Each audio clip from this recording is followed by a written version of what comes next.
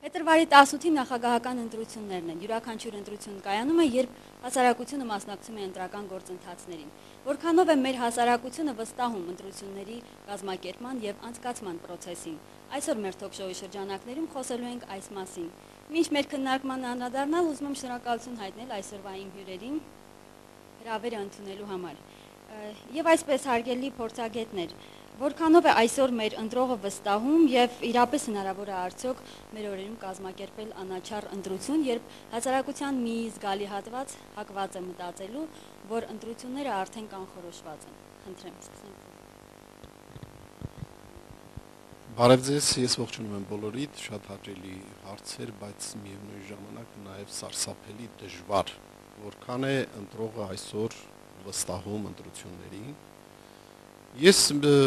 այդպիսի լուրջ հետազոտություններ չեմ անցկացրել, բայց հերոստատեսությամբ նայելով մնացած կազմակերպությունների, նաև տեխնացուների վստահված անձանց կարծիքները, կարծես թե բոլոր կողմերից նշում են, որ այս այսօր ընտրողը շատ անտարբեր է, այլևս չի հավատում։ Իդեպ որոշ հետազոտական աղբյուրներից նաև նշում են, որ այսպիսի իրավիճակ անտարբերության այսպիսի իրավիճակ երբևէ չի եղել, բայց միևնույն ժամանակ ես իմ կարծիքն եմ ուզում նաև շեշտել, սա սովորական ընտրություններ են եւ ես այն մարդկանց թվին եմ պատկանում, որոնք այն կարծիքին չեն, որ միայն ընտրություններով պետք է փոխել կամ բարելավել կյանքը։ Կարծում եմ սա պարզապես մի հերթական սովորական նախագահական ընտրություններ է, պարզապես ունի առանձնահատկություններ։ Այո, մի քիչ կուսակցություններ, որոնք կուսակցություններ, դեմքեր, որոնք ավելի ակտիվ էին, չեն մասնակցում ընտրություններին, բայց ես կարծում եմ բավական հետաքրքիր քարոզարշավ է, սա էլ բավական թվով տեխնացուներ ունենք, եթե հաշվի առնենք մեր փոքր պետությունը։ Էնպես որ կարծում եմ ընտրողը այս տեսանկյունից իրավունք չունի այդպես անտարբեր լինելու։ Ոստի ես կոչ եմ անում բոլոր ընտրողներին, որպեսզի ակտիվ մասնակցեն եւ քարոզարշավին եւ ընտրություններին։ Ես էլ եմ ողջունում այս միջոցառումը ընդհանրապես։ Պետք է խոսել այն հարցերի մասին, որոնք մեզ ուզում են։ Իմ կարծիքով ընտրությունները հուզում են ժողովրդին։ Նայած թե որ խավին ինչպես, ով ինչպես է մոտենում։ Պարոն Մուսախանյանի հետ համակարծիք եմ, որ ընտրությունները դա այն գործառույթը չէ միայն, որով պետք է բարեփոխումներ կատարել երկրում, բայց ես կարծում եմ, որ դա նաև կարևորագույն գործառույթ է, որովհետև ում ընտրում ես, որ կուսակցությանը, որ քաղաքական ուժին, հետագայում նրանից էլ պետք է սպասելիքներ ունենալ։ Դրա համար ես կարևորում եմ ընտրությունները։ Ինչ վերաբերում է բնակչության անտարբերությանը, չի ասի, որ անտարբեր են։ Ուղղակի միշտ նենց է եղել, որ Հայաստանում ուժեղ ընտրություններ են եղել, այսինքն ուժեղ հավակնորդների արկայության պարագայում աժուտաժը բարձր է եղել։ Այս անգամ կարծում էինք, ես էլ այդ թվում ինչպես ժողովուրդներ կարծում, որ ամեն ինչ արդեն կանխորոշված է, ամեն ինչ ընթանալու է առանց մեր կամքի, նույնիսկ կարելի չգնալ ընտրություններին, եւ նույնիսկ այն կարծիքը կար, որ իշխանությունների մոտ արդեն ոչ թե ընտրությունների արդյունքներ արդեն ավելի շատ կարևոր, ավելի շատ կարևոր էր մասնակցությունը։ Բայց տեսակ, որ եղան անսպասելի բաներ, ինչպես բոլոր ընտրություններում, այնպես էլ Հայաստանում, եղան աննախադեպ ինչ որ գործառույթ չասեմ դրան վատ բաներին չեմ ուզում ասեմ գործառույթ։ Համենայն դեպս ես կարծում եմ մեր ազգին հարիր չէր։ Իսկ ընտրությունների գնալը ես կոչանելը դա այն բանը չի, որ կոչանես։ Եթե մեր երիտասարդությունը, մեր մեծերը, մեր փոքրերը, մեր պետական այրերը, մեր հասարակական գործիչները, նաև քաղաքացիական սեկտորը պատրաստ չի որ գնա ինքը ժողովրդավար ձևով իր ապագան ընտրի։ Էլ ինչ կոչ անել։ 15 տարուց ավել մեր կազմակերպությունը գործում է եւ 15 տարուց ավել մենք կոչ ենք անում Հայաստանի երիտասարդությանը, երիտասարդներին անհատապես ում ճանաչում ենք մեր շահառուներին, որ այո, եթե մենք բռնել ենք ժողովրդավարության ճանապարհը, ընտրությունները դա ամենակարևոր ատրիբուտն ու ամենակարևոր գործիքն է ժողովրդավարության մեջ, որից սկսվում է ամեն ինչը։ Դրա համար ես կարծում եմ, որ ամեն պարագայում պետք է կարևորել ընտրությունների գործընթացը որպես այդպեսին։ Անկախ հավակնորդների, տեխնացուների, ուժերի հավասարության, տեղաբաշխվածության, ես չգիտեմ, պարոն Մուսախանյանը ասեց, այո, ազգային ժողովում բավականին մեծ քանակ ցայներ ունեցող քաղաքական ուժերը չուզեցան մասնակցել։ Դա էլ իր երթին, դա էլ իրենց գործն է, իրենց խնդիրն է, բայց ես անձամբ կարևորում եմ ընտրությունները եւ կարծում եմ, որ ընտրությունից ընտրություն քայլ առ քայլ բարեփոխումներ կլինեն ու երևի մենք կհասնենք մեր ուզած Հայաստանին։ Ես ուրախ կլինեի, որ մեր հասարակությունը, մեր երիտասարդները այնքան բազմազբաղ լինեին, որ իսկապես անտարբեր լինեին ընտրությունների արդյունքով եւ իսկապես հարցումները եւ հետազոտությունները ցույց են տալիս, որ ինչքան շատ է մարդու կենսամակարդակը բարձր, այնքան շատ անտարբեր է քաղաքական անցուդարձների նկատմամբ։ Հայաստանում ցավոք անտարբեր են ոչ թե որովհետև շատ զբաղված են ծովափներում կամ չգիտեմ երիտասարդական ակումբներում, այլ անտարբերությունը եկել է այսպես անհավատությունից եւ իր անվստահությունից։ Բայց սա էլ տոկոսային հարաբերությամբ չեն կարող ասել, որ իսկապես բոլորը անտարբեր են։ Եվ որոշ քաղաքական ուժեր կոչ են անում բոյկոտել, բոյկոտը միշտ չէ որ արդյունք ցույց տվեք քաղաքական անցուդարձում մի երևույթ, մի բոյկոտ, որը որ արդյունք տվել Այդպեսի բան չկա, ինքը ինքնուրույն բոյկոտ է անում եւ դա վնասում է միայն իր եւ իր շրջապատին։ Մասնակցելը ճիշտ է ամեն դեպքում։ Ինչքան շատ մասնակցություն լինի, ինչքան շատ ընտրատեղամասերում առավել եւս երիտասարդներ կանգնած լինեն, պարզապես հենց կանգնած լինեն իրենց ներկայությամբ, այնքան քիչ այդ ընտրակեղծիքները տեղի կունենան։ Եվ չեմ էլ կարծում, որ արդեն փոխվել է կարծես տեխնոլոգիաները,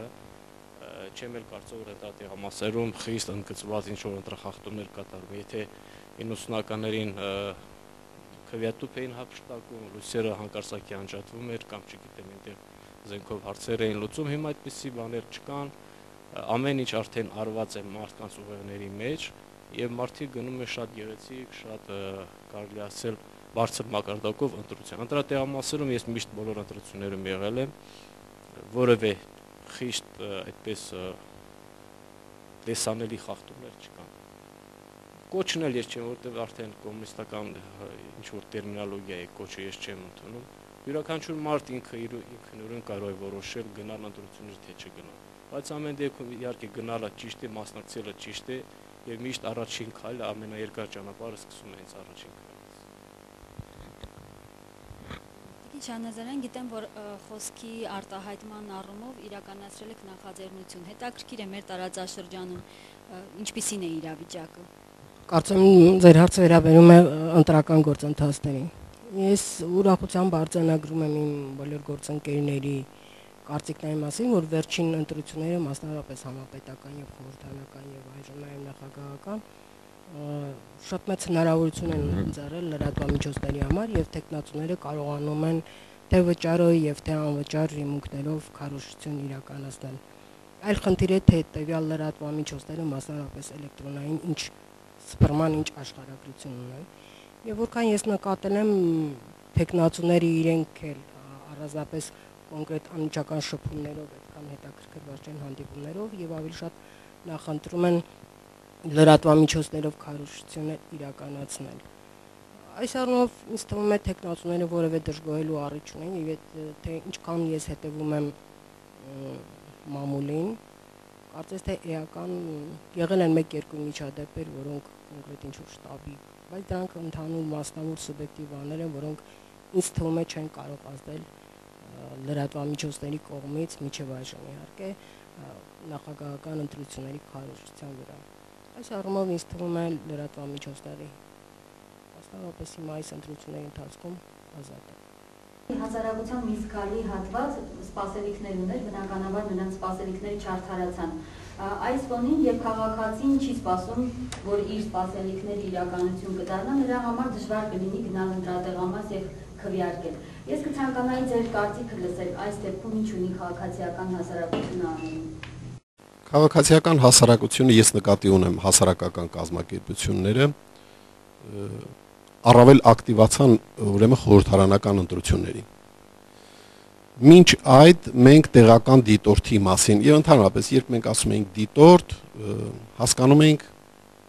արտերկրից եկած այլ միջազգային դիտորդների մասին ենք այդպես էին կարծում, տեղական դիտորդ հասկացությունը կարծում եմ ամրագրվեց հենց խորհրդարանական ընտրություններին։ Ցավում եմ, որ տեղական ինքնակառավարման ընտրությունների ժամանակ համապատասխան ֆինանսավորում գուցե չլինելու պատճառով մի քիչ пассивացան։ Այսինքն այսօր դեռևս չենք կարող համարել, որ կայացած է քաղաքացիական հասարակության կողմից, քաղաքական հասարակական կազմակերպությունների կողմից ուրեմն դիտորդական առաքելություն իրականացնել է։ Ինչու եմ ես կարևորում այս կետից սկսում, որովհետև հասարակական կազմակերպությունները իրենք ունեն շահառուներ, ում հետ որ աշխատում են, եւ նրանց միջոցով նրանց հետ աշխատելով են ակտիվանում մասնակցում ընտրությունների իրենց կոչերով, իրենց քարոզարշավներով։ Եվ մեր կազմակերպությունը կոնկրետ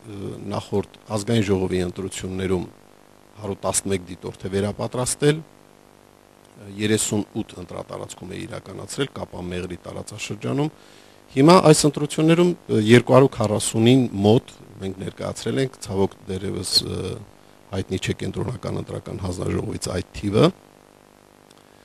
Այնուամենայնիվ ես անդրադառնամ Եթե երիտասարդները ավելի շատ են ներգրավում այդ գործընթացում, նրանց հետաքրությունն է մեծանում, ինչպես են մասնակցում քաղաքացիական հասարակություն, ինչպես է մասնակցում Ես այս դրա մասին եմ ուզում նշել, այս թվերը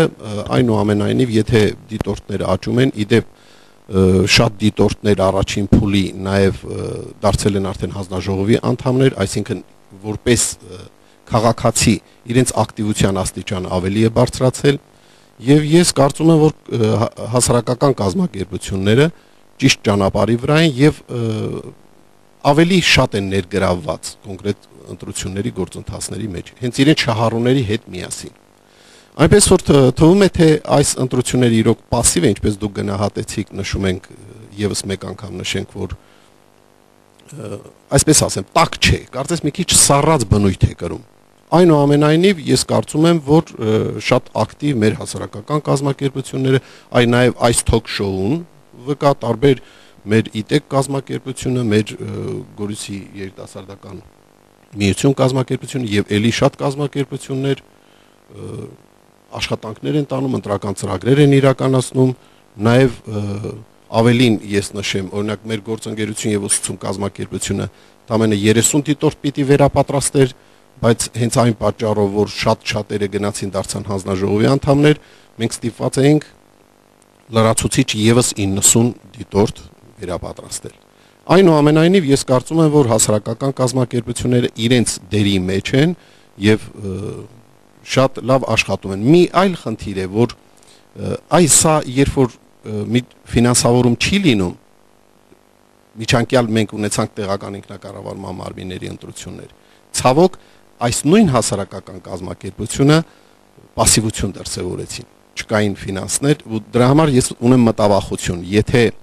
ասենք միջազգային դոնոր կազմակերպություններ չլինեն ֆինանսավորում չլինի դիտորդի վարձատրելու խնդիրներ կան եւ այլ եւ այլ արդյոք հասարակական կազմակերպությունները ի վիճակի են այս նույն գործընթացները շարունակել շատ լավ գործընթացներ են ես լավ կարծիքի եմ առաջ է գնում այս առումով ինչ վերաբերում է մեր կազմակերպությանը Մենք գրեթե բոլոր ընտրություններին ակտիվ ենք։ Դիտորդական առաքելություն իրականացնում ենք 2003 թվականից։ Ինչպես նշեցին իմ գործընկերները, որ եթե չլինի ֆինանսավորում, գուցե եւ ակտիվությունը բարձր չլինի։ Ուզում եմ ուղղակի ասել, որ 2003 թվականից մինչև 2007 թվականը մեր կազմակերպությունը դիտորդական առաքելություն իրականացրել է տարբեր ընտրատարածքներում առանց ֆինանսավորման։ Մենք ֆինանսավորմամբ դիտորդական առաքելություն իրականացնում ենք 2012 թվականից, ասենց ասենք, չեմ հիշում 2008-ին ֆինանսավորում ունեցել ենք թե չէ, բայց հաստատ 2003 թվականից մինչև 2008 թվականը, 2007 թվականը մենք նույն գործընթացը իրականացրել ենք առանց ֆինանսավորման եւ շատ բան ենք սովորել։ Հիմա մեր կազմակերպությունը իրականացնում է դիտորդական առաքելություն պետք է իրականացնի կարճաժամկետ դիտորդական առաքելություն թիվ 39 ընտրատարածքում, որը ինչպես գիտեք, Վայոց ծորի տեղամասն է, Վայոց ծորի մարզն է։ Նախորդ ընտրություններին ազգային ժողովին Ճիշտ ասած, այսօր որ նշանիկները բաժանում է Ռուզաննա, երևի պատահաբար էր ինչեր, ես չգիտեմ, ինձ բաժին ընկավ իմ ցայնը կարևոր է, վճռորոշ է։ Դա ոնց որ թե մեր կազմակերպության նշանաբանն է, ու մենք փորձում ենք երիտասարդներին, ում հետ որ աշխատում ենք, այդ մեսիջը ուղակի հասցնել տեղ, որ յուրաքանչյուրի ցայնը խիստ կարևոր է։ Սա այն պարագան չէ, ճիշտ ասում Մարատը, ես միշտ հարգում եմ ինքը լավ բաներ ասում մեկ-մեկ։ Այնքան զբաղված չենք ամեն ինչով, ծովափներով եւ այլն, որ անտարբեր լինենք ընտրություններին մեր ազգի համար սա պատմականին էտապն է, որ ընտրությունները կարևոր են։ Անձամբ ես խիստ կարևորում եմ եւ աշխատում ենք, ճիշտն ասած, ակտիվությունը բարձրացնելու ուղղությամբ, բայց դա արհեստական չի լինում։ Ու մոտ հավատը վերականգնվել է, եթե եղել է կորցրած հավատ, ով նորա ձեռք բերել է այդ հավատը, ով առանց կորցնելու ձեռք բերելու ինչ որ գիտակցում է, որ դա կարևոր գործընթաց է, ես կարծում եմ, որ ես կարծում եմ, որ այդ մարդիկ առանց մեր ասելու էլ կգնան ընտրության։ Ժողովրդի մեջ կա մի խավ, որ միշտ նեղացած են, միշտ բողոքում են, չգիտեմ ումից։ Ես կարծում եմ, որ ամեն մեկը իրանից պետք է նեղանա առաջին հերթին Եթե մենք չենք ունենում այն ինչը ուզում ենք, ուրեմն մենք ենք մեղավոր։ Բայց իմ կարծիքով վերջին ընտրությունները ցույց տվեց, որ ես խոսեմ մենակ Վայոց ծորի մարզի մասին, որովհետև այնտեղ էինք հիմնականում տեղակայված որոշ մարդիկ ասում են մի քայլ առաջ էր, ես կասեմ 11 քայլ առաջ էր նախորդ ընտրություններից։ Ոնց որ Մարատը ասեց, չկար այդ ձգտումը ինչ որ բան կեղծելու, ինչ որ բան թաքցնելու, ինչ որ բան ցույց տալու։ Իրոք այդպես չէր։ Ամեն ինչ բաց էր։ Մարդիկ հանգիստ գալիս էին, հանգիստ քվեարկում գնում էին։ Դա լրիվ ուրիշ խնդիր է։ Ընտրատեղամասում ընտրության գործընթացը դիտարկել։ Բայց լրիվ մեկ այլ գործընթացա, որ մինչև ընտրություններին գալը մարդիկ արդեն իմ կարծիքով կողմնորոշված են լինում։ Էլ այդ կարիքը չի լինում ինչ որ բան անելու։ Երևի տեխնոլոգիաներն են փոխվել, երևի մենք ենք մի քիչ խելոքացել, երևի ժողովուրդը արդեն կարևորում է, որ վերջի վերջո իր մասնակցությունը չբերելու պարագայում մենք միշտ կունենանք վատ ընտրություններ։ Ես միշտ այդ կարծիքին եմ։ Եթե կա բարձր մասնակցություն, բոլոր ռիսկերը իրանք նվազում են։ Դրա համար ովքեր գիտակցում են, ես կարծում եմ իրանք անկախ նրանից, տեխնացուները շատ են, քիչ են, ուժերը հավասար են, հավասար չեն։ Ընտրությունը կարևոր գործընթացա պետքա գնալ։ Իսկ եթե ոչ միայն քաղաքասարակությունը մենք փորձում ենք աջակցել ինչ որ ձևի, որ ժողովուրդը իր մասնակցությունը բերի, ընդհանուր առմամբ հասարակությունը իր մասնակցությունը բերի։ Ես էլ եմ ուզում կրկնվեմ, որ եթե մեծ լինի մասնակցությունը, մնացած բոլոր ռիսկերը կնվազեն։ Եվ կարծում եմ, որ մեր կազմակերպությունը, ձեր կազմակերպությունը գումը, մարատենք։ Ես կարծում եմ, որ նաև այլ բոլոր կազմակերպություններ, ովքեր այս գործընթացում ընդգրկված են, ես կարծում եմ իր ազդեցությունը կունենա։ Մասնակցությունը կմեծանա։ Մնացածը արդեն թող ժողովուրդը որոշի։ Ինչ վերաբերում է քաղաքացիական հասարակության դերը, դերին այս ընտրությունների, մի բան պատկերացրել եք ընդհանրապես Հայաստանում քաղաքացիական հասարակություն չկա, չկա մամուլի այն կենտրոնները, թերթերը, ինտերնետային կայքերը եւ այդ պարագայում ինչպեսի ինչպեսին կլինի ընտրությունների ընթացքը։ Եթե ինչ որ մի բան զգաստել, զգաստանալու մղող երևույթներ կա, ապա դա միակ դեր հենց քաղաքացիական հասարակությանն է։ Եվ ինչու՞ չէ այս դիտորդները, որ բազմաթիվ երիտասարդներ վերապատրաստում եւ գնում են միայն իրենց ներկայությունը տրատեղամասեր, մի տարեք հերավոր, մի հատ լեռնային գյուղում, մի հատ ոչ իրենց համագյուղացի դիտորդ կա, բոլորը զգաստանում են եւ ինչ ինչ ինչ որ կուզենային անել իրենց համագյուղացիների ներկայությամբ այդ բանը չեն անի հանձնաժողովի անդամները նկատի ունեն այստեղ այլ հարցը թե դիտորդը ինչքանով է վերապատրաստված եւ ինչքանով պաշտպանված սա էլ խնդիր է ես համոզված եմ եւ այն կարծիքին եմ որ քաղաքացիական հասարակությունը գոնե այն մի փոքր լույսն է ընդհանուր քարանձավային մտության մեջ որը որ արկա է եւ եթե չլինի այդ արդեն զարգացող քաղաքացիական հասարակություն Հայաստանում ես համարում եմ կայացման ճանապարհին է դա վիճակը շատ ավելի բարդ կլինի մենք կունենանք, չգիտեմ, ջկարքի երկրի ինչ որ կատարող երևույթների նման Սա է իրողությունը եւ տեխնոլոգիաներն էլ իսկապես իրենց անում են եւ կամ կամա թե կամա իշխանությունները պետք է որ արդեն հաշվի են նստում տեխնոլոգիաների հետ, նկատի ունեմ տեղեկատվական, որոնք որ եթե նախկինում կարող էին կրպակից վերցնել ամբողջ թերթի խմբականակ, որ ոչ ոք չկարդա, հիմա այդպեսի խնդիր չկա եւ ինչ որ մեկը ազատ կարող իր մտքերի ինֆորմացիան սոցիալական ցանցերում կայքերում տեղադրել եւ ամիջապես բոլորը ովքեր հետաքրքրված են կարդում են։ Եկել է ժամանակը խաղի նոր կանոնները եւ կարծում եմ որ բիրտ տեխնոլոգիաները եւ այդ հորբզորի այդ ժամանակահատվածը անցել է եւ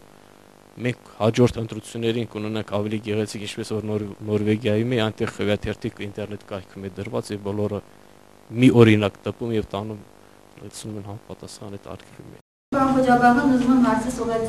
ինչ է կարծում այսօրվա մեր ընտրողը արժևորում է քվեաթերթիկ, այսինքն հա- հասկանում է քվեաթերթիկի կինը, որ իր ձեռքի տակ ընտրելու ժամանակ այն փաստաթուղթն է, որից կախված է առաջիկա 4-5 տարիների իր ապագան։ Եթե նախագահական ընտրություններին է վերաբերում, այսօրվա ընտրողի ինչպես որ արդեն խոսում է 60 քանի տոկոսը, ճիշտ էլ ասում են։ Իրեք ոնց է այսքան տոկոսը պլան կա, պիտի տա ում հասկանալ է ում եւ դա ապահովել վա դրա համար այդքան տոկոսը կարևոր չի իրան հրահանգա որ վերջի ցուցակի այս մարդու անվան դիմաց նշան թե մնացած ինքը չի կարդում կամ կարդում նայում ալսում է ռաֆին գալիս է ոչ մեկը չեն գնում այդ հարցը ռաֆի մտել էր խանութը այդ մեկին բարևեր, այդ մեկը վաղ աշխատանքի կթողնեն գնա թե ոչ։ Այս հարցադրումներ ճիշտ է նրբատ հիմա տեխնոլոգիաները փոխվել են։ Բարի ուժ չկա, տրճանակով չեն գնում, լցոնում չկա, բայց հիմա ուրիշ բան կա, հրահանգ կա։ Այսքան ձայն պետք է տալ վերջ։ Պաշտոնյան ասում աշխատողներս, եթե որևէ բան չկա, վաղ աշխատանքից դուրս եք մնում։ Ի վերջո այնքան դուրս կմնա, որ կգնան, կգնան, կգնան, հետո կմնան հանրապետությունում այնքան մարդիկ, որքան որ անհրաժեշտ է այս մարդուն, այսինքն 100%-ն ձայն կտան։ Մի անգամից նշանակեն բրցնի գնա։ Այդ մասն է խոսքը, որ արժևորում է ընտրողը մի քանի հոգի, դա ձևի համար, հարկավոր է ասենք 60 քանի տոկոս տալվեն հարկավոր է որպեսի լեգիտիմություն ցույց տան 20% այն մարդուն, թե ում ես չգիտեմ առայժմ ում կտան, համենայն դեպս առաջին էշելոնը ինչ որ մեկին 20% են տալու, մի 12% տալու են այդ առաջին էշելոնը MUS-ին, մի 7% այն մյուսին ավարտվել է, մնացածը զուր ամբողջ քանի տոկոս։ Դա պատվեր է, դա կատարվել է վստահ։ Ազգային ժողովում հակը անդրադարձանք, որ հասարակությունը մտածում է, որ իրականում կանխորոշված են։ Բայց չէ որ հենց նաև ընտրողների ձեռքում է, ասինքն ընտրելու իրենց իրավունքից, եթե նրանք օգտվեն եւ իսկապես կարողանան ճիշտ գնահատել։ Ազգային ժողովը մայիսի 6-ն է, չէ՞ տեղ ունեցել։ Քանի ամիս անցել։ Դուք կարծում եք, թե այսքան ընթացքում փոխվեց հասարակությունը։ Փոխվեց նրանք ավելի կոտրվեցին եւ ջարդվեցին։ Դա համար երեք հիմնական կուսակցություններ հրաժարվեցին։ Հրաժարվեցին, որովհետեւ գիտեն ինչա կատարվում։ Հիմա մեկ ասում ենք ինչու հրաժարվեցին, վախեցան։ Մեր տեսանկյուն հաղորդաշարի խեղճ Գեորգ Ալթունյանն էլ հիմա հարձակվել է կուսակցությունների վրա, ասում է վախենում են։ Վախենում չեն, իրենք իրենց գնահատում են, ասում են իմաստ չունի մասնակցել այդ կարգ ընտրություններին։ Հիմա բան արժևորում է թե ցուցակը։ Ոչ ոք էլ չի նայում ցուցակին։ Իրան գիտեն, որ վերջի այս ինչ համարի պետք է ձայն տան եւ վերջ։ Բրծավ, էսա։ Արա Միրզյան, Գորիսի հետասարդական միություն ՀԿ։ Ես ճիշտն ասած այդքան հորետեսական չեմ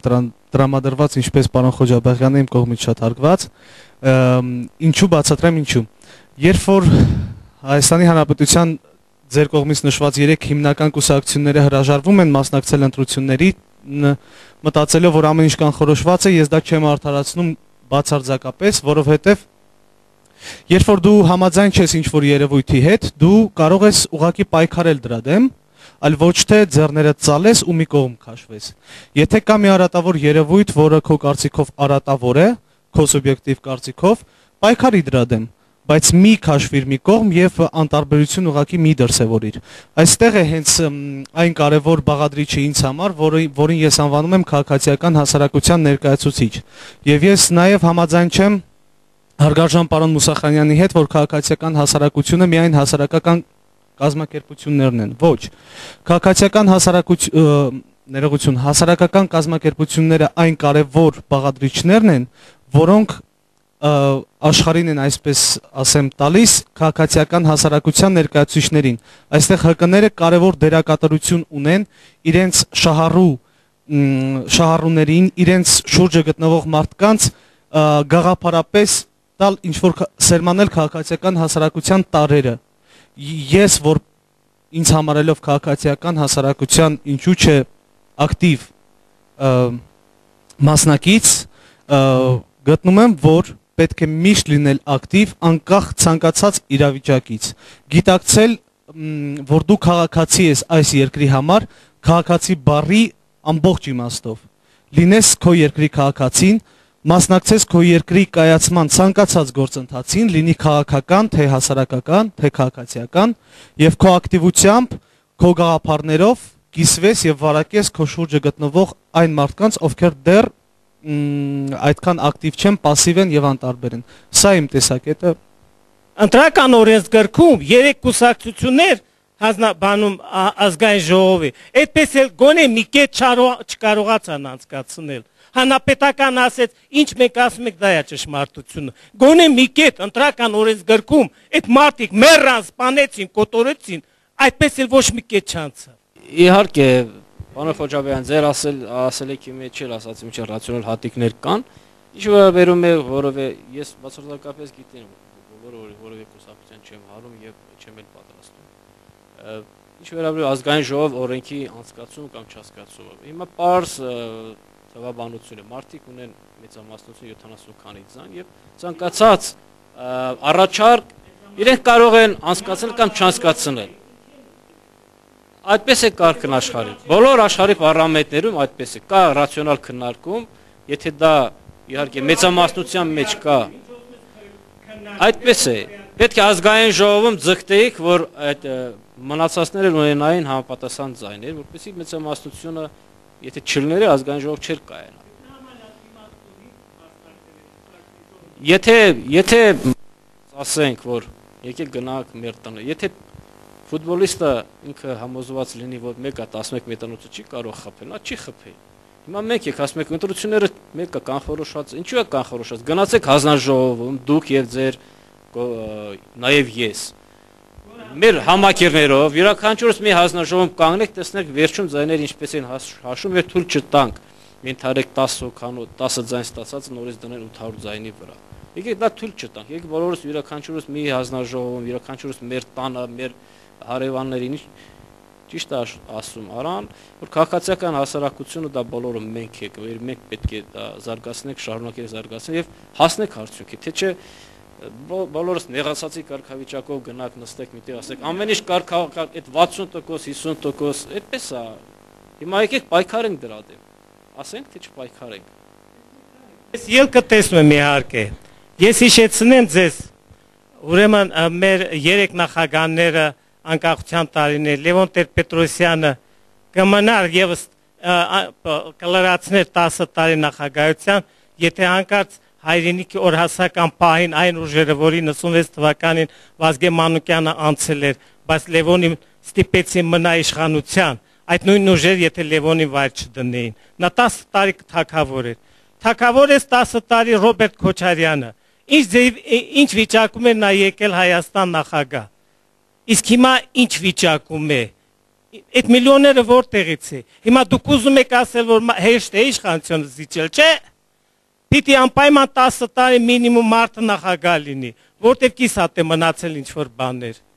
Եվ ինչ պիտի անեք։ Մի հատ էլ չէ, չէ, չէ, ես գիտեմ ինչ պիտի լինի հայրենիքի օրհասական պահ պետք է ստեղծվի։ Հակառակ դեպքում այս ժողովուրդ ոդկի կանգնող, սրանք սովոր են, որ իրանց սատկացնեն, սովից սատկացնեն, ուղարկեն, քշեն, նրանք ձեները կտրելվեն։ Մենք սո եւ դրա եւ դա չարաշահում են։ Ճիշտ ասած, ես ինձ այդ ժողովրդի մաս եմ համարում ու ես չեմ մտածում, որ ինձ կարող են ճնշել, ստրկացնել կամ չգիտեմ, չի կարելի ընդհանուր վերաց այդպես բաներ ասել։ Ես կարծում եմ ընտրական գործընթացների սրվում են, ինչ որ ձևով հասարակության ուշադրության կենտրոնում են մնում նաև քաղաքացիական հասարակության ինստիտուտների, որոնց մի մասը նաև լրատվամիջոցներն են, մի ինստիտուտը։ Ամեն ինչ շատ այն պատճառով, որ միշտ մենք ուշադրությունը սվեռում ենք բուն ընտրական գործընթացների վրա. Եւ հասարակությունը, եւ նույն հասարակական կազմակերպությունը, եւ լրատվամիջոցները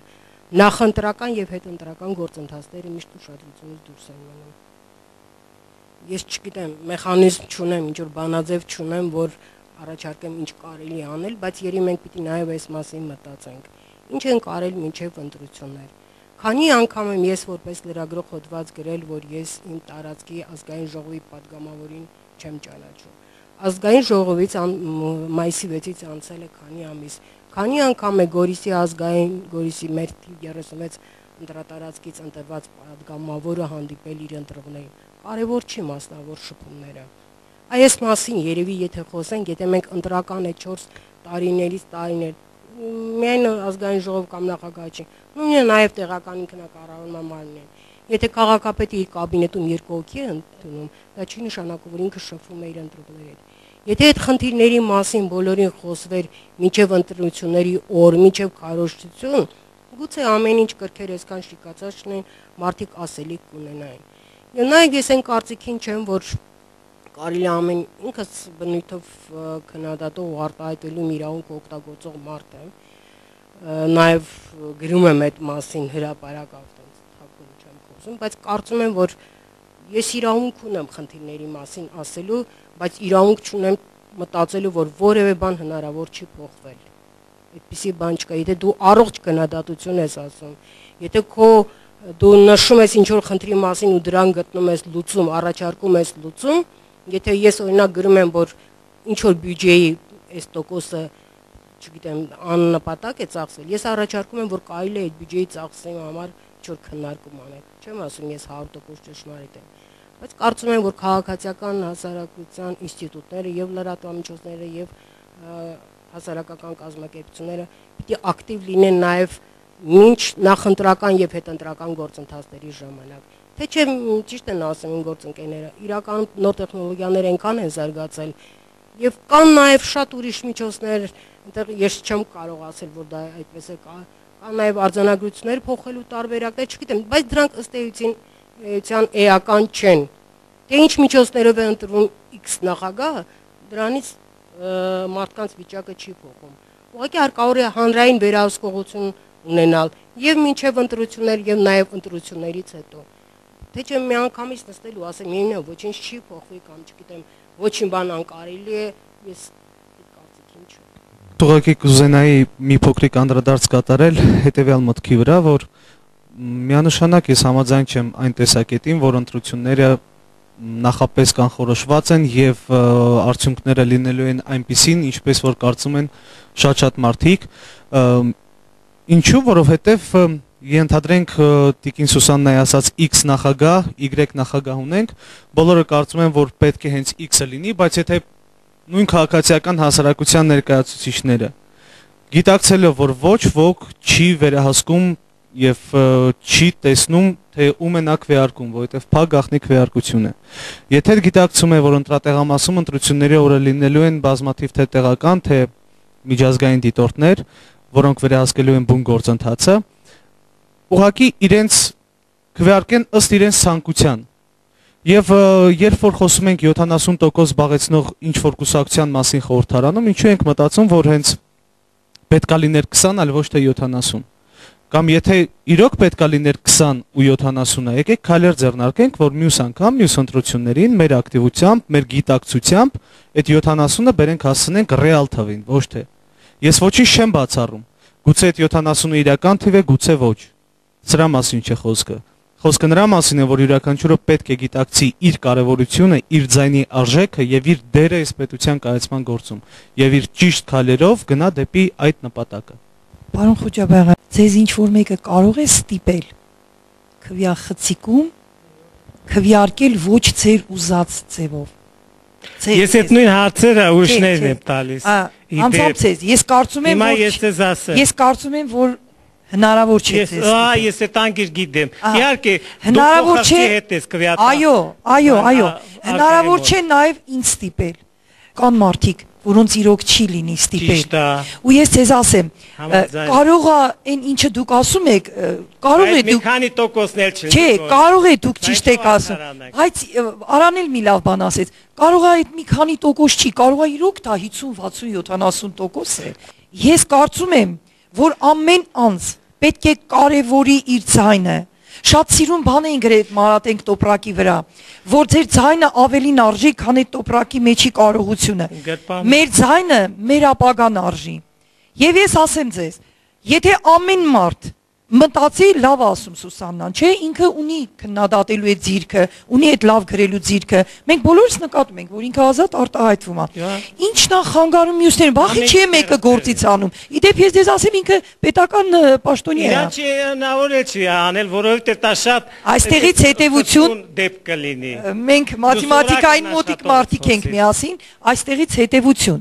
որ եթե ամեն մեկը իրոք իր ձայնին տեր կանգնի, ամեն մեկը մենք փորձել ենք, իդեպ ասեմ ձեզ 39 ընտրատարածքում մի տեղամասում Ուրեմն մենք կնիկները ստանալու պայից, հանձնաժողովը ձևավորվելու պայից, թերթիկները տանելու պայից, արձանագրությունը կազմելու պայից, ընդཐུպ մինչև արձանագրության օրինակն էլ արդեն վերցրել ենք ու հավատացեք, եթե մենք հետևողական ենք լինում, նախ ես ասեմ ձեզ, դա չի նշանակում ինչ որ մեկը փորձում էր կեղծել, մենք էլ հսկում էինք, ոչ։ Էլ կեղծել չկա։ Ես շեշտեցի, այո, տեխնոլոգիաները փոխվել են։ Մարդիկ հիմա հասկանում են ու գիտակցում են։ Եթե առաջ ինչ որ մի անորոշ ասած բառի հետևից մարդիկ ասում էին, այ դուզա, ես դժգոհ եմ իմ կյանքից, ամենից չեմ քվիարկում։ Ես էլ կարողա շատ բանից դժգոհ եմ, բայց դրա պատճառը պրեզիդենտը չի։ Դրա պատճառը ազգային ժողովի падգամավորը չի։ Դրա պատճառը պետական այն պաշտոնյան չի։ Իդեպ ես պետական ոչ մի հիմնարկում չեմ աշխատում, բոլորդ գիտեք, կախված չեմ երևի։ Պարոն Խոջապյան։ Միջանկյալ ասեմ, որ ես պետական պաշտոնյա չեմ ատեն 5 ամիսը։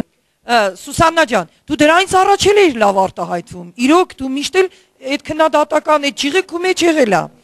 Ես ուզում եմ ասեմ, պարոն Խոջաբաղյան, որ դուք ունեք շրջապատ, դուք էլ ունեք ազդեցության ոլորտ։ Եթե դուք ձեր ազդեցության այդ շրջապատում թող լինի փոքրիկ մեծ, եթե դուք այդ այնց ասեք ամեն ինչ հնարավոր չի, արդեն կանխորոշված է, ես կարծում եմ դա վատ օրինակ կլինի։ Մաքսյան, ուզում եմ հարցնել, եթե խոսում ենք անտարբերության ֆոնի մասին,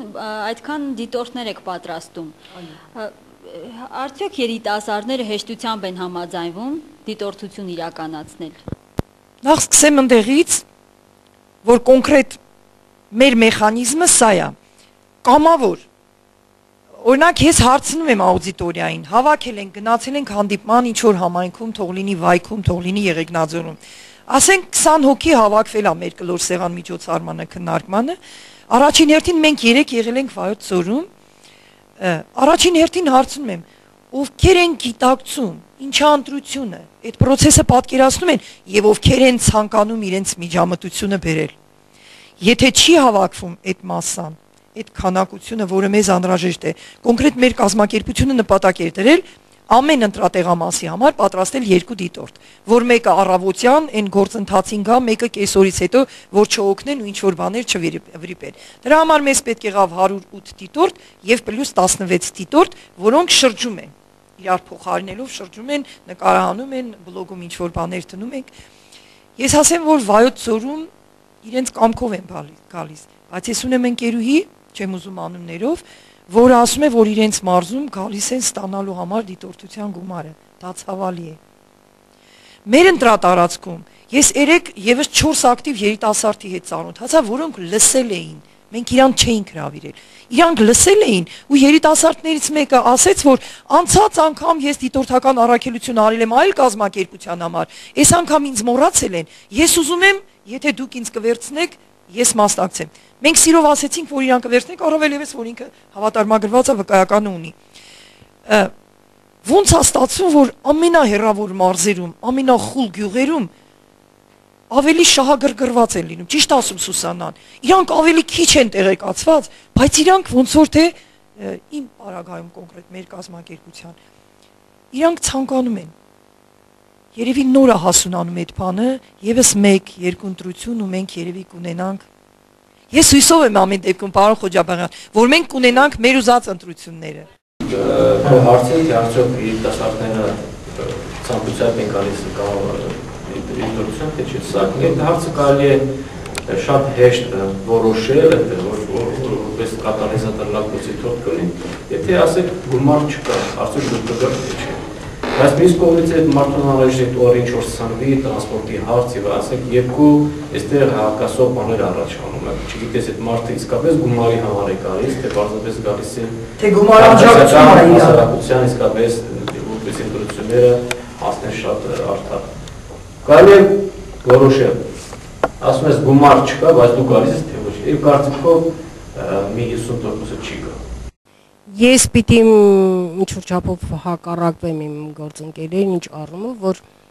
միայն 2-3 դասընթաց անելով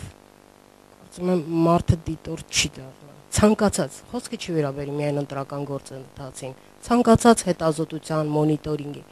Եթե մարդու մեջ հետաքրքրվածություն չկա ինչ որ բան փոխելու, չկա այդ ներքին ցանկությունը, որ վստահությունը, ցանկությունը, որ կարելի է ինչ որ բան փոխել, նա չի գնա դիտորդության։ Ձեզ այդ առումով այն կազմակերպությունները, ովքեր պատրաստում են դիտորդներ, իրականում շատ դժվար խնդրի առաջ են կանգնած, որպեսզի նաև ընտրեն այնպիսի մարդիկ, ովքեր կարող են, ոչ միայն կարող են, այլ նաև ցանկություն ունեն, հետաքրքրված են, ակտիվ են։ Եթե նայում են Գորիսի քաղաքացիական հասարակ Գորիսի հասարակական կազմակերպություններին, ը, պիտի ասեմ, որ երևի հանրապետությունում ամենաակտիվ եւ ամենահամերաշխ ընտանիքներից մեկն է այդ առումով, դա պիտի անպայման շեշտել։ Ցանկացած միջոցառումներին, հանդիպումներին հիմնականում նույն կորիզն են, որ ուր են երիտասարդները։ Ես չեմ կարծում, որ նրանց համար վատ դասընթացներ են անում, վատ ուսուցումներ, վատ շահառուներ են իրենք որպես մարդիկ, բայց ներքին ակտիվությունը մարդու, ես չգիտեմ ինչ միջոցներով կարելի է դա հաղթահարել։ Պայքարող հետաքրքրվող մարդը առիթը չի կորցնի, որպեսի իր պայքարի, իր հետաքրքրությունների մասին չխոսի, ինչքան էլ կարևոր գործ ունի։ Դրա համար երևի ինչ որ չափով իրականում լուրջ խնդիր ունեն այն կազմակերպությունները, որոնք դիտորդներ են պատրաստում։ Ես համամիտ եմ Թինշանյանի հետ, որ մեկ կամ երկու դասընթացով կամ վերապատրաստում իրականացնելով վերապրում դիտորդներ կամ որակյալ որակյալ դիտորդներ դժվար թե ունենանք։ Ա, Ես ինքս 2010 թվականից ի վեր դիտորդների վերապատրաստման դասընթացներ եմ իրականացնում եւ կարող եմ ասել միանշանակ, որ դիտորդների վերապատրաստումը դա պետք է լինի անկախ նրանից ընտրություն թե որ պայն կա թե չկա։ Իսկ ա, ինչ վերաբերվում է ա, դիտորդների վարձատրմանը, թե ա, եթե չունեն այդ գումարները, արդյոք երիտասարդները շահագրգռված կլինեին իրականացնել դիտորդական առաքելություն, թե չէ, ասեմ, որ դա այնքան սիմվոլիկ գումարներ են այդ դիտորդների օրապայքները, որ եթե մարդը իսկապես ա, չուզենացություն չունենա ա, իրականացնել դիտորդական առաքելություն, նա այդ գումարին դժվար թե ինչ-որ մեծ այդքան մեծ կարևորություն տա։ Ամեն դեպքում ես նկատում եմ, որ վերջին երկու տարիների ընթացքում ինչքան է բարձրացել է տարում երիտասարդների ակտիվությունը, թե նրանց քրթական մակարդակի իրանք որպես դիտորդի վերապատրաստվել են եւ ստացած գիտելիքներով իրանք կարողանում են ազատ կիսվել իրանց հասակակիցներին։ Պլյուս նրան նաեւ իրականացնելով դիտորդական առաքելություն, իրանք դառնում ոնց որ շատ ակտիվ քաղաքացիական հասարակության տարեր, եւ իրանց այս շարունակական աշխատանքը կբերի շատ ավելի լավ արդյունքների, քան մենք հիմա պատկերացնում ենք։ Եվ քանի որ մենք լսանում ունենք դիտորդներ, հետաքրքիր է լսել իրենց կարծիքները։ Նախ նշեմ, որ շատ հետաքրքիր էր մասնակցել դիտորդությանը։ Մայիսի 6-ին մասնակցել էի ընտրություններին եւ առաջի անգամ էի ընտրում, նաեւ առաջի անգամ դիտորդ էի։ Շատ հետաքրքրված էի, սկզբում ինքս էի առաջարկել կազմակերպությանը, որ เป զի լինեմ դիտորդ, նախքան իմանալը թե ինչքան կվարձատրեն ինձ կամ արդյոք դրա համար ես կվարձատրվեմ։ Ես չեմ կարծում թե դիտորդները դիտորդություն անելով ինչպես նշեց Աննան այդ այդ ն- գումարի համար են նրանք դիտորդություն անում Այնո ընտրությունների մասնակցել եմ, սակայն որպես դիտորդ կլինեմ առաջին անգամ այդ ասպարեզում շատ ուրախ եմ, որ լինեմ եմ, ինքս եղել եմ միշտ պասիվ, պասիվ ընտրող, այսինքն կատարել իմ քաղաքացիական պարտքը, տղամաս եմ գնացել զուտ ընտրելու նպատակով, բայց միշտ հետաքրքրություն եղել է թե հանրաժողովի անդամների հետ կապված, թե անդամն ընտրությունների հետ կապված, ինչպես է ձևավորում ժամը քանիսից քանիսը, ինչ է վիճակահանություն, ինչու, այդ տարբեր հարցեր միշտ ինձ ուզել են գնալով եւ մասնակցելով դիտորդների պատրաստման ծրագրով դեռ ունեցած այդ դասընթացներին շատ բան եմ սովորել։ Ճիշտ է երկու օր չէր կարող լիարժեք ապավել, բայց շնորհիվ պարոն Մուսախանյանի հասկացել ու ընդունել եմ շատ բաներ շնորհակալ եմ ձեզանից Ինքս շատ հետաքրքրված եմ եղել եւ հիմա լիովին բավարարված եմ իմ բոլոր հարցերով, ուրախ եմ, որ մասնակցել եմ դիտորդների ծրագրին եւ կատարել եմ իմ պարտքը, ոչ միայն քաղաքացիական, այլ նաեւ դիտորդական առաքելություն։ Դուք ինչ կասեք, դիտորդներ ես ինքս պետք է մասնակցեմ որպես դիտորդ անդրությունն Նախ այդ հասարակական վերահսկողության ձևերից մեկն է, որը ժողովրդավարության հիմքում է դրված հասարակական վերահսկողություն, քանի որ մենք սովետական բարքերից ազատվեցինք, ունենք սահմանադրություն, որով ձևավորվում է մեր իշխանությունը, այսինքն իշխանություն ձևավորվում է մեր ընտրությունների շնորհիվ համապատասխանաբար կառավարություն եւ մնացած գերատեսչությունը, ազգային ժողով եւ հանրապետության նախագահ մենք ենք ընտրում հասարակական վերահսկողություն այսինքն դիտորդը որքանով է որ պատրաստված լինի ինքը թե ոչ որակով է թե ոչ դիտորդի ներկայությունը անդրատեղամասում զսպելու է վստահված անձանց, հանձնաժողովի անդամներին եւ այլ անձանց։ Իհարկե, մեզ դեռևս անհրաժեշտ են դիտորդության առաքելությունները, չէ դրսի թե ներսի, որտեղ մենք դեռ այդ ճանապարհին ենք եւ տա Աստված, որ կգա մի ժամանակ, որ ընտրություններին ընդհանրապես դիտորդ չի լինի։ Ես կարծում եմ, որ դիտորդ լինելը սա դա անգամ վիրավորական է մեզ համար, ազգի համար, մեր հասարակության համար։ Ինչի համար ասեք, մենք չենք կանչում մեր հարևանին, ասում եկեք մեկ տեսեք մեր խոհանոցը մաքուր, մեկ լվացան կապսեները, թե չէ, մեր ճաշը աղիեր, թե չէ։ Ասեք, սա մեր ներքին ինքնակազմակերպման խնդիր է եւ շեշտը դնել եւ հույսը դնել անգամ միջազգային դիտորդներ, որ եկեք տեսեք մեկ լավ ընտրություն արեցիք, թե չէ կգա ժամանակ ես հուսով եմ որ մենք դրա կարիքը չենք ունենա եւ անգամ տեղական դիտորդների կարիքը չենք ունենա դա աստված որ այդպես լինի եւ միշտ չէ որ դիտորդների ներկայությունը դա խոսում է ժողովրդավարության մասին ընդհակառակը Տաջիկստանում աղվան եւ այդ անուն չեմ տա այնտեղ լիքը դիտորդներ կան եւ միշտ նույն ավելի վատ վիճակը ընդհակառակ ինչքան բարձր է մարդկանց գիտակցության եւ ներքին կազմակերպչական խնդիրները այդ գիտակցական այդտեղ դիտորդներ չկա գնացեք ֆինլանդիայում դիտորդություն ինչին է պետք մարդուն դիտորդ լինի մի քանի անգամ ինչ որ բաներ կախված եւ եւ մարդը գեղեցիկ գնում ընտրում եւ հանձնաժողովը շատ սուբյեկտիվ օբյեկտիվ հաշվում է իրենց ձայները ուզում եմ ասել Չնայած մեզ շատ անհրաժեշտ է դիտորդական այս առաքելությունը, բայց այնուամենայնիվ սա մեզ համար վիրավորական որպես հասարակություն։ Շնորհակալություն։ Շատ երկար լսեցի եւ քանի որ մեր երիտասարդներն են խոսում այստեղ դիտորդները, ես ուզում եմ կարևորել մի բան, որ միշտ եթե կա օրենք, կա կարգ, հաստատ այդ կարգը հնարավոր է խախտվի։ Եվ շատ հաճախ ոչ թե միտումնավոր, այլ պարզապես օրենսգիրք է, լինում են շեղումներ։ Այսինքն եթե մենք դիտորդություն ենք անում ու ասում ենք, որ ամեն ինչ կարգին է եւ ոչինչ չենք տեսնում, ըստ օրենքի է գնում, ես այդ կարծիքին չեմ։ Եվ խնդրում եմ դիտորդներին եւ նաեւ նախորդ իմ գործընկերները նշեցին երկրների անուններ, հատկապես Մարատը, որտեղից մենք դեռ շատ-շատ հեռու ենք նման վստահությունից, նման, չգիտեմ, այդ կարգի պետություն լինելուց։ Եվ այսօր շատ կարևոր է վերահսկողությունը։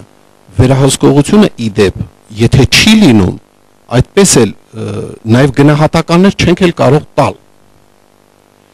ես մեր դիտորդների այդ վերապատրաստման դասընթացների ժամանակ հաճախ նշել եմ մենք չենք գնում միայն վատը այսպես աչքներս չռենք ու ասենք այ տես էս ինչ բանը տարան այսպես բան արեցին եւ այլ եւ այլ մենք գնում ենք նաեւ ամրագրելու որ այո օրենքով կատարվեց եւ այս լավը կա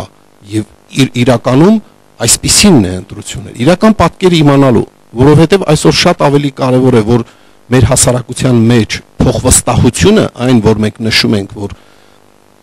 անտարբեր են, փոխվստահություն չկա, մեկս մյուսին իրոք չենք վստահում։ Ընտրությունների նկատմամբ գնացեք եւ հարցրեք, այնուամենայնիվ հետազոտություններ են կատարվում։ Այդքան մեծ չի։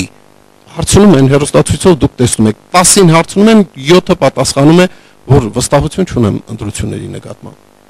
Սա է պատկերը։ Այ որpիսի այդ հավատը վերականգնենք, Ձեր առաքելությունը շատ կարևոր է, ձեր, մեր, բոլորիս, որպեսզի կարողանանք ցույց տալ, այո, կարողանանք լավ դիտարկում կատարել արժեքավոր եւ ցույց տալ, որ իրական պատկերը այսպեսինն է ես որ ել չեմ խոսելու շնորհակալություն եմ հայտնում բոլորի կազմակերպիչներին եւ ցանկանում եմ բոլորիս այո քաղաքացիական հասարակությունը ՔՀԿ-ները նաեւ այս մասով խոսք գնաց որ քաղաքացիական հասարակության կազմակերպությունները միայն ՀԿ-ները չեն, ես էլ համաձայն եմ, ՔՀԿ-ներ են դրանք կոչվում, քաղաքացիական հասարակության կազմակերպություններ։ Մնացածը քաղաքացիներ են, որոնք եթե քաղաքացիական հասարակություն են ձևավորում եւ գործնեություն պիտի ծավալեն, պիտի այս կազմակերպությունների միջոցով ԶԼՄ-ների, հասարակական, բարեգործական կազմակերպությունների, հիմնադրամների, արմիությունների եւ այլ շատ կազմակերպությունների միջոցով իրականացնեն եւ կայացնեն քաղաքացիական հասարակությունը եւ մի գնահատական էլ այս առումով ինչպես մեր պետության մնացած ոլորտները այնպես նաեւ քաղաքացիական հասարակությունը իր խնդիրներն ունի եւ ես ուզում եմ լավատեսական հիմքով նշել Մարատի կարծիքը, որ մի քաղաքացիական հասարակություն, այո, այն մեր կազմակերպությունները ԿՀԿ-ները, այն լուսավոր կետն են, որոնք շատ ավելին են ցավոք սրտի, շատ ավելի լուսավոր են, քան մեր իշխանության պետական շատ-շատ այլ կառույցներ։ Սա ցավ է։ Շատ հաճախ մենք ճշման ենք ենթարկվում նաև այդ կառույցներից, այնուամենայնիվ նրանք մեզնից դեռ շատ-շատ բան ունեն սովորելու։ Վերջին հարց ուզում եմ Գևորգ քեզ տալ, սոցիալական ցանցերը կայքերը ինչ դեր ունեն ընտրությունների կազմակերպման գործում, որովհետև հատկապես նախորդ ընտրություններին բազմաթիվ նոր կայքեր բացվեցին, որոնք ընտրողներին հնարավորություն էին տալիս իրենց տեսածը արձանագրել սոցիալական կայքերում եւ անպատասխան մարմիններ արձագանքում էին դրանց։ Սոցիալական ցանցերը շատ կարևոր դեր են ունեցել անցած խորհրդարանական ընտրությունների ժամանակ շատ մարդիկ բոլոր կուսակցությունները ակտիվորեն իրենց նյութերը այդ սա գաղափարական մեծ գործ է գործ է կատարվել ու հիմա էլ նույն ձև շարունակվում է այս նախագահական ընտրությունների ժամանակ հիմնական բոլոր տեխնացուն տեխնացուներն ունեն իրենց Facebook-յան իրենց էջերն ունեն, որոնք շատ ակտիվ ձևով գործունեություն են ծավալում ու ասեմ, որ շատ արագ են արձագանքում, կոնկրետ մեր օրինակով մենք մի շարք դեպքերում իրենց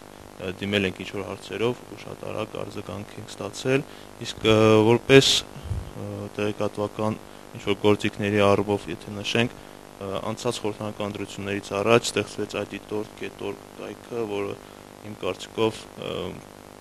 շատ կարևոր քայլ էր ընտրությունները վերահսկելի դարձնելու համար, որովհետև այդ կայքը նախ ասեմ, որ բոլորի կողմից հիմնականում շատ սիրվեց, որովհետև շատ հասանելի էր ու մարդկանց կողմից կարող էին այնտեղ շատ པարս ձևով ներկայացված է ամեն ինչ, մարդ կարող է ուղակի նշել իր ընտրախախտման տեսակը ըստ կատեգորիաների բաժանված է ու քարտեզի միջոցով կոնկրետ նշել, թե որտեղ է ընտրախախտումն իրականացվել ու ընդհանուր կարող ես ընտրությունների ֆոնային ֆոնը տեսնել, թե ավելի շատ ընտրախախտումներ, որ որ տեղերում ավելի շատ եղել, իհարկե դա այս տեղական ինքնակառավարման մարմինների ժամանակ կարծեմ 2-3 ընտրախախտում նկատվեց այդ ակտիվ չէր գործում, բայց հուսանք այս նախագահական ժամանակ ավելի ակտիվ կլինի։ Դուք համոզված եմ, որ հաջորդ ընտրություններին կամ հաջորդ քաղաքական գործընթացներին նույնիսկ ընտրությունից ընտրություն իրենք սովորել են դիտարկել իրենց շուրջը ինչ է կատարում, ինչն է սխալ, ինչն է լավ, ինչ կարելի անել, ինչ կարելի է առաջարկել։ Իհարկե միանշանակ դեմ եմ ավարայրի Խոջաբաղյանը ասած որտեղ հեղափոխական քարոշչություններին կնայ որ ենք մեր համանadrությամբ է արգելում, բայց կարծում քաղաքացիական համախմբվածությամբ, քաղաքացիական ակտիվությամբ կարելի է այդ բոլոր հաջողություններին հասնել։ Ես շատ ուրախ եմ, որ վերջին ընտրություններին իմ գործընկերները լրատվամիջոցները կարողանում են ակտիվ արձանագրել եւ բուն գործընթացը եւ նախա ու հետ ընտրական շատ ափսոսում եմ որ տեղական լրատվամիջոցները այդ գործում շատ пассив են եւ այդ առումով ուղակի որևէ մխիթարական խոսք չեմ կարող ասել, բայց լավատես եմ, որքան էլ զարմանալի է, ես լավատես եմ, որ մենք կարողանում ենք կարողանալու ենք լավ երկիր ունենալ։ Միշտ մտածել եմ այսպես, մտածում եմ եւ կմտածեմ, որ հենց միայն ես ինքս մենակ կարող եմ փոխել աշխարհը։ Ու ես վստահ եմ, որ դա կարող եմ անել։ Ես վստահ եմ, որ իմ յուրաքանչյուր քայլ, իմ յուրակ իմ ձայնը ոչռորոշ կարող է լինել այս ընտրություններում, եթե խոսենք ընտրությունների մասին մասնավորապես։ Եվ հաշվի առնելով բոլոր արկա թերությունները, բոլոր արկա բաստողումները, ամեն դեպքում մենք կարող ենք լինելով ակտիվ, լինելով համախմբված, միասնական եւ ազատամիտ կարող ենք փոխել այն ամենը, ինչը մեզ համար այս բայդրությամբ դրա դրական չէ, որը որ մեզ համար բացասական է։ Ես հակված եմ այդ մտքին, ես վստահ եմ եւ այդ նույն տրամադրվածությամբ գնալու եմ եւ մասնակցելու եմ իմ քաղաքացիական պարտքն եմ կատարելու այս ընտրություններին։ Հենց այդ գեղեցիկ նոտայով էլ ավարտենք այսօրվա մեր թոքշոուն։ Շնորհակալություն իմ բոլոր հյուրերին քննարկմանը մասնակցելու համար։ Փետրվարի 18-ին բոլորս ակտիվ մասնակցենք ընտրություններին եւ ընտրություն կատարենք խղճի մտով։ Շնորհակալություն։